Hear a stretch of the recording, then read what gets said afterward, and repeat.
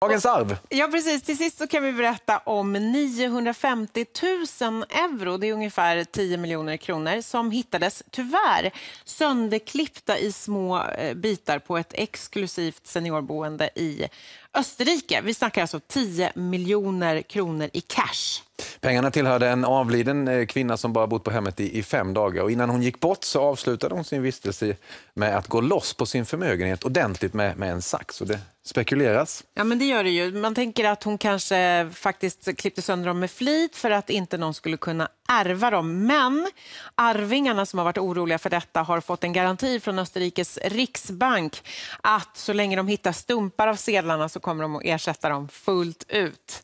Men vad taskigt om hon faktiskt klippte sönder dem för att hon inte ville att någon skulle ärva. Fast vi vet inte vilken relation de har. Hon kanske var supernöjd. kanske var hennes bästa initiativ i hela livet. Hon kanske dog jätteglad. Ja, precis. Hon dog glad mm. och de fick pengar. Alla är glada. Nu.